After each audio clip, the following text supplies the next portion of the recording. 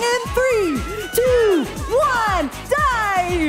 Qualification, ma- qualification match number one officially underway here on the Curie division of the first Robotics World Championship. We have Coral being scored for both of these alliances. Looks like Team 4646 is going to make the first entry into the barge with one piece of algae. Blue Alliance taking the slight advantage with several pieces of coral on level four. They're going to take the advantage of 58 to 37, moving into our teleoperated period. Robots are going to come alive. Students are going to take control.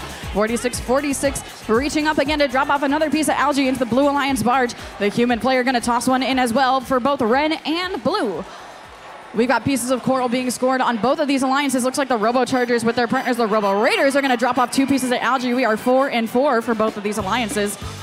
On the reef side of things, looks like the Blue Alliance is going to maintain again that early advantage. Making work on level three is going to be 1771 North Gwinnett Robotics, dropping off another piece of coral onto that level three, while their partners Wildcut Robotics dropping off another piece of algae. The Robo Chargers trying to make short work of their algae supply as well for red, trailing slightly with a score of 87 to 138, with about 90 seconds left to go here in this match. Back on the Red Alliance side of the field, Team 75, the Robo Raiders seems to be lining themselves up against the Coral Reef, scoring in tandem with their partners, the Robo Chargers, dropping off another two pieces of coral on the level three of their reef. Blue Alliance side of the field, we got plenty of action going on. Looks like 68-38 deep in Blue Alliance territory, trying to slow them down. Blue Alliance trying to make very short work of their reef. Already got progress on all three levels. Looks like they're only a couple pieces of coral away from completing level four and gaining that competition bonus. 1771 racing up to grab a piece of coral off the floor and drop one off with their partner 67 right on next to them. Looks like all three Blue Alliance robots scoring one piece of coral to wrap up the level three. Only a couple empty slots left on the Blue Alliance reef. Red Alliance got a couple more open as well. They still got plenty of time with a little over 30 seconds left to go. Blue Alliance maintaining an early lead of 214 to 139 with about 30 seconds left to play.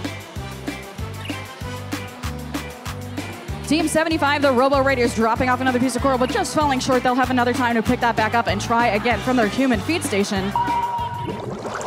That sound means it's time for our end game. Teams are going to start switching their focus over towards the barge. We'll see some deep climbs and some shallow climbs as well. Looks like 46-46 is going to be the first to start reaching towards the surface. Their partner 67 racing on next them. Looks like we have three Blue Alliance robots up in the air. Red Alliance trying to do the same as time expires.